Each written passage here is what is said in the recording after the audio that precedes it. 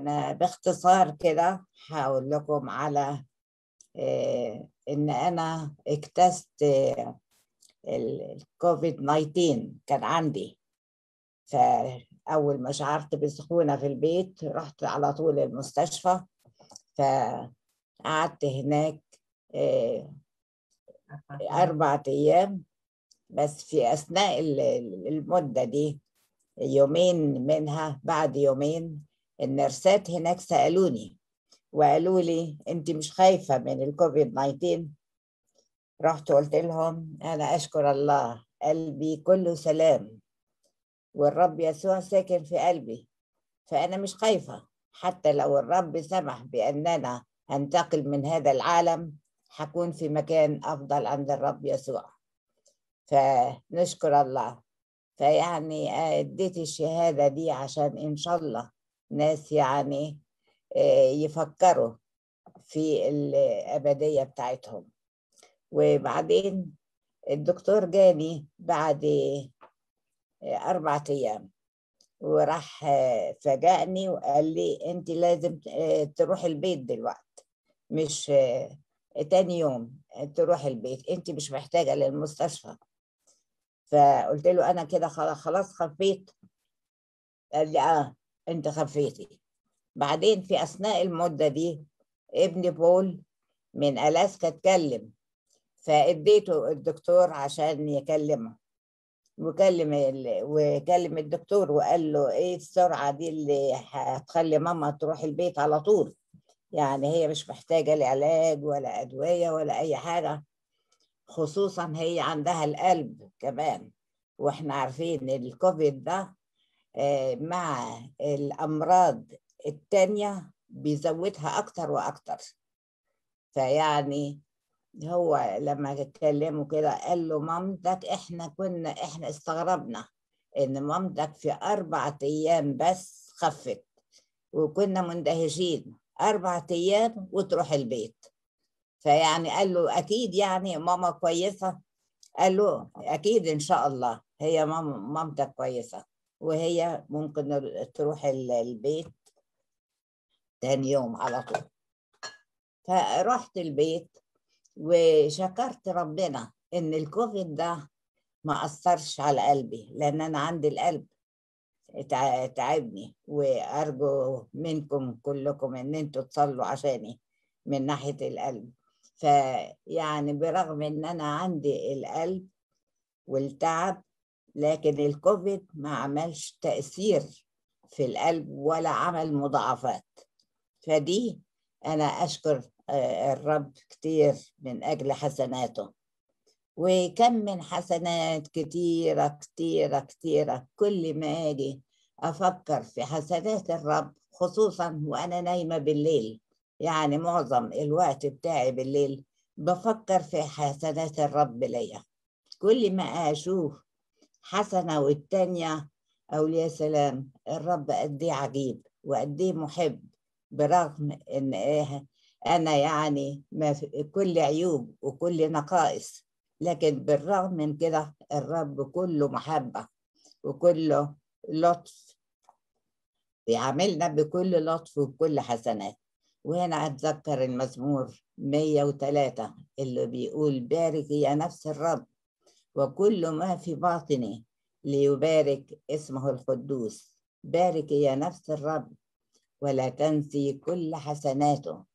علينا نتذكر الحسنات بتاعته من وقت للتاني. الذي يغفر جميع ذنوبك. أكبر إحسان. مش بس هو يشفي المرض الجسدي لكنه إيه؟ يغفر جميع ذنوبك. وهي دي أهم حاجة. عندنا إحنا المؤمنين يعني إن إحنا تكون لنا أبدية سعيدة بعد الانتقال الذي إيه، يشفي كل أمراضك الذي يكللك بالرحمة والرأفة الذي يشبع بالخير عمرك فيتجدد مثل النسر شبابك شبابك. كل المزمور حلو اللي هو 103 لما نتأمل فيه وفي الكلمات المشجعة بتاعته قد إيه نهتف ونرنم للرب ونشكر الرب لأنه أحسن إلينا. كم من أمراض وكم من حوادث حصلت. وكل مرة أفتكر فيها يعني أهتف للرب وأقول مبارك اسم الرب. أنا أنا إيه؟ بجانب محبة الرب. هو مش بيعملنا بحسب أعمالنا. هو بيعملنا بالمحبة بتاعته. بيعملنا حسب اسمه العظيم. فهو بيغفر بيغفر الذنوب و... وبيدينا كمان فرح وقوة وامتنان وشكر عشان اللي بيصنعوا معنا. كل يوم. وطبعا مش هطول عليكم لأنه حسنات الرب أكتر من أن تعد. فنشكر ربنا خصوصا يعني في هذه الأيام كل الناس مضطربة خاصة عشان كوفيد 19 كلهم مضطربين وخايفين. وسمعنا ناس كتير بتموت من ال الوباء ده موت ناس كتير. لكن الناس اللي هم عايشين لربنا ومسلمين حياتهم للمسيح حتى لو اجتازوا لكن هم عارفين إن النهاية بتاعتهم هتكون نهاية سعيدة عند رب المجد. وأشكركم كتير على الفرصة دي اللي سمعت فيها صوت الأخوات. أنا اتحرمت من صوت الأخوات الحلوين. اللي مضينا معاهم كام سنة في مصر في المؤتمرات وفي المجمع. كانت فرص حلوة الحقيقة بنتمتع ببعضنا كلنا زي عيلة واحدة وأخوات كلنا في العيلة الواحدة. مبسوطة أسمع صوتكم مرة تاني والرب يبارككم ويزيدكم نعمة ونشكر الأخ طلعت اللي هو جمعنا وعمل الفرصة دي عشان كل واحدة تقدر تسمع التانية في اختباراتها و... و... وكل اللي الرب عمله معاها شكرا يا أخي طلعت وأشكركم كتير الأخوات والرب يبارككم ونشوفكم مرة تانية. أمين. شكرا للأخت الفاضلة الأخت العزيزة الأخت دولت والحقيقة إحنا لا شك الأخت ليديا دكتورة ليديا تحمل الكثير من الاختبارات خاصة في هذه المرحلة. هنستضيفها مرة تاني إذا سمح الوقت بالنسبة ليها الخميس الجاي أو اللي بعده. لكن معانا دلوقتي سبع دقايق. لو تحب توضحي يا دكتورة ليديا الحالة اللي تمجد فيها الرب من الجانب الطبي هنكون ممنونين جدا. اتفضلي يا دكتورة ليديا.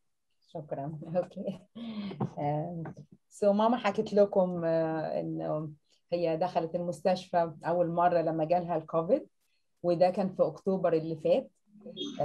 وفعلا بعد أربع أيام اتحسنت وكان وخرجت من المستشفى. أنا عايزة أقول لكم إن ماما دخلت المستشفى بعد كده أربع مرات تاني. بين أكتوبر نوفمبر لحد 5 نوفمبر. بعد كده كانت كويسة خالص. بس ده ما كانش من الكوفيد. ده كان من يعني موضوع القلب. كمان دخلت في يناير اللي فات ودخلت في آخر مرة في مارس اللي فات. بنشكر ربنا لأن كل مرة ربنا كان بيعمل معجزة فعلا في حياة ماما. يعني كان إحنا كل المرات دي ماما كانت يعني بتيجي عربية الإسعاف لأنها تيجي تاخدها. مش إن إحنا كنا بنروح المستشفى أو بنروح للدكتور. كل مرة كان ممكن نفسها مش قادرة تاخده أو وجع اللي بيجي في الصدر وجع اللي هو بتاع القلب بتاع الذبحة. الرب حماها من جلطات القلب ولا مرة جالها جلطة في القلب. جالها مية في الرئة. جالها مية كانت في الرئة يعني يعني عايزة أقول لكم بدل الهواء كان في مية داخل الرئة. ربنا حافظ عليها وأنقذها منها. الدكاتره كانوا يعني لما كنت بروح أقابلها كانت يعني ماما بتجيلها على عربية الإسعاف هنا تاخدها في نص الليل غالبا وأنا أحصلها. كنت بقابل الدكتور والدكاترة كانوا بيتوقعوا يعني يقولوا الحالة صعبة الحالة مش حلوة ابدا وبيتوقعوا أسوأ حاجة تحصل منها. فعايزة أقول لكم ربنا كان رحيم بينا جدا هي نعمة وفضل ما نستاهلهوش. إحنا كنا طبعا بنصلي كتير في كل مرة وكنا بنطلب من الإخوة والأخوات حوالينا والاجتماعات كلها إنها تصلي معانا وفعلا الرب كان بيسمع ويستجيب. عايزة أقول لكم إن هي ماما حاليا أحسن من الأول بكتير. المواضيع اللي كانت بتجيلها قبل كده مش بتجيلها دلوقتي. كلها حاجات نتيجة تعب القلب لكن نشكر ربنا الأدوية صحيح بناخد الأدوية وبنخلي بالنا في حاجات كتير في الأكل والشرب وكله لكن هي أكتر من كده بكتير. هي يعني إيد الرب ديفينتلي إيد الرب هي اللي بتشفي وهي اللي لمست ماما وخلت عندها ترجع تبقى عندها نشاط تاني وتتحرك تاني وتقوم وفي البيت وتتحرك وتعمل حاجات كتير. فدي بس حبيت أديكم فكرة وبشكركم لاستماعكم.